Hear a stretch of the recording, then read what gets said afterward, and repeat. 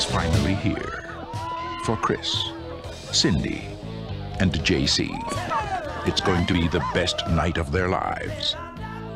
But tonight is also the night of the creeps.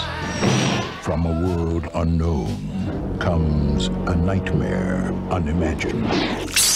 Ah, First, they are under you, around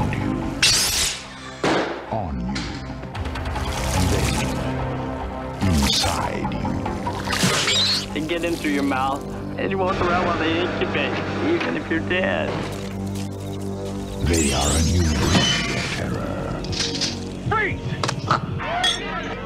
They are a different kind of horror. Zombies, exploding heads, creepy crawlies. We could have a little problem. The creeps are taking over.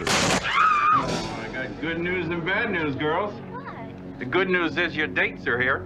What's the bad news? They're dead. You have never had a night like this. Night of the creeps.